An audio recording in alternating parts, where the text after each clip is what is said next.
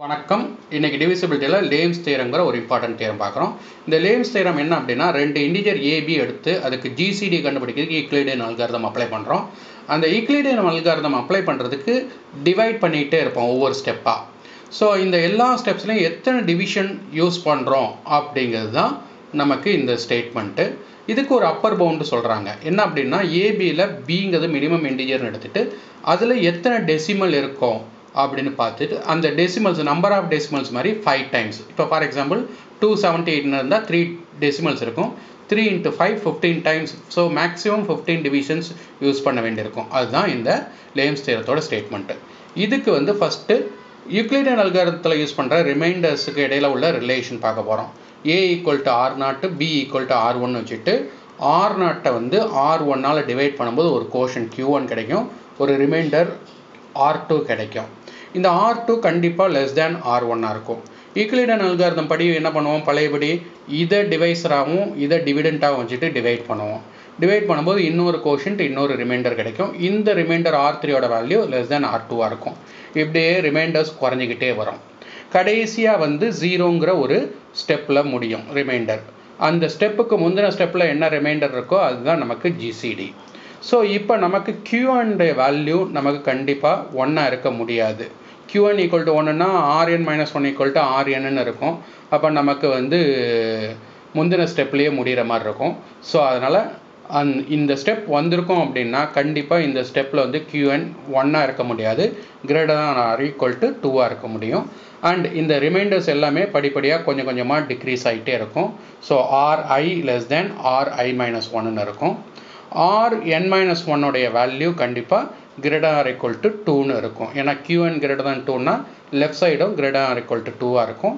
R N வந்து greater than ஒன்னாக இருக்கும். ரிமைண்டர்ஸ் குறைஞ்சிக்கிட்டே வரும். இங்கே வந்து இது நான் ஜீரோ ரிமைண்டருங்கிறதுனால ஆர்என் கண்டிப்பாக கிரேட்டர் தேன் ஒன்னாக இருக்கும்.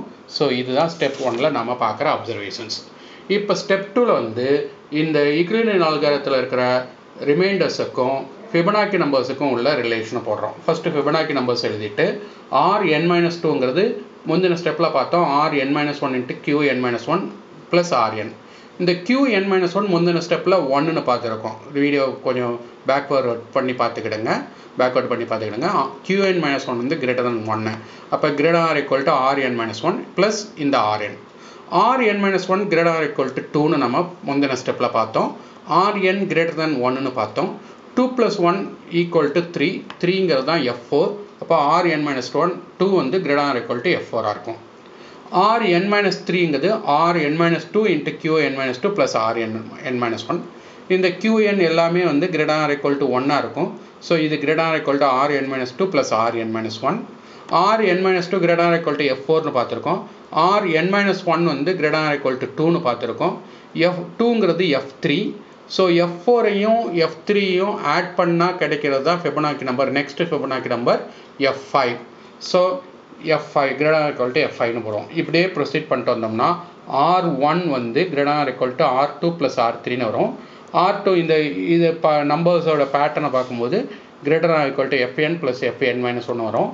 எஃப் என்னையும் எஃப் என் மைனஸ் ஒன்னையும் ஆட் பண்ணால் கிடைக்கிறது next Fibonacci number F N plus one so R one greater equal to F N plus ஒன்னு கிடைக்கும். இது ஸ்டெப் டூவில் நாம் பார்க்குற அப்சர்வேஷன் இப்போ ஸ்டெப் த்ரீ நம்ம ஸ்டெப் ஒனில் ஸ்டெப் த்ரீயில் வந்து என்ன பண்ண போகிறோம்னா இந்த ஃபெபனாக்கி நம்பர்ஸை சால்வ் பண்ணும்போது ஒரு எக்ஸ்பிளிசிட் ஃபார்முலா கிடைக்கும். இது டிஸ்க்ரீட் மேத்தமெட்டிக்ஸில் பார்க்குறோம்.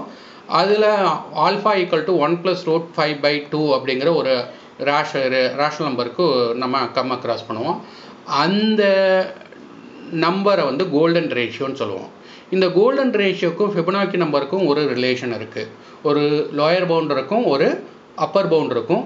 நாம் இங்கே இந்த லோயர் பவுண்டை யூஸ் பண்ணுறோம் f n plus one greater than alpha power n minus one அப்படிங்கிறது லோயர் பவுண்டு அதை இங்கே யூஸ் பண்ணிக்கிறோம்.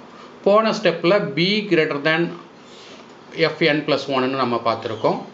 ஸோ தட் இஸ் பிங்கிறது uh, ஆர் ஒன் அதுதான் நம்ம லாஸ்ட் ஸ்டெப்பில் பார்த்தோம். பிங்கிறது r one b greater than r one greater than f one plus one பிங்கிறது ஆர் ஒன் அப்படின்னு நாம் ஸ்டெப் ஒனில் எடுத்திருப்போம். So R one greater than f n plus ஒன்னுங்கிறது இங்கே ஸ்டெப் டூவில் பார்த்துருக்கோம். அதை இங்கே யூஸ் பண்ணிக்குவோம்.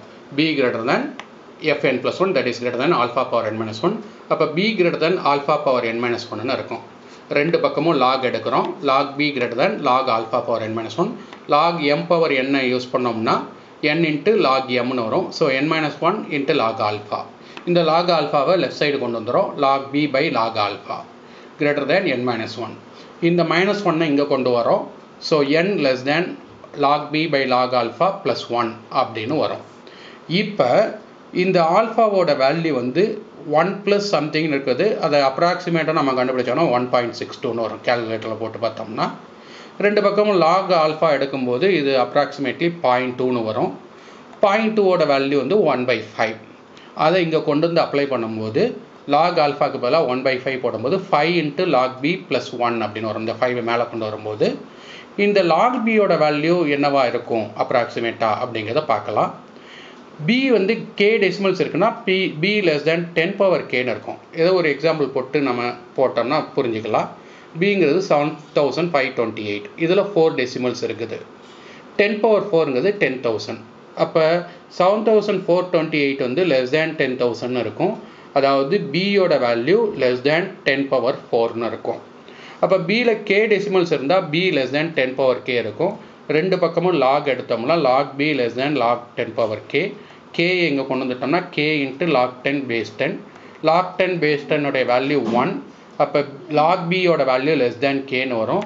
இதை இங்கே அப்ளை பண்ணோம்னா ஃபைவ் கே ப்ளஸ் ஒன்னு வரும். So n less than five k plus ஒன்னு வரும். இதுதான் நாம் பார்க்குற அப்பர் பவுண்டு ஸோ கேங்கிறது நம்பர் ஆஃப் டெசிமல்ஸ் இன் பின்னு இருந்தோம்னா it is less than five k plus one அப்படிங்கிறது தான் நமக்கு இங்கே ரிசல்ட்டு இதோட இந்த ப்ரூஃப் முடிஞ்சது. லைம் ஸ்டேயத்தோட ப்ரூஃபு நெக்ஸ்ட் வீடியோவில் வேறு ஒரு ப்ராப்ளத்தோடு சந்திக்கலாம். நன்றி.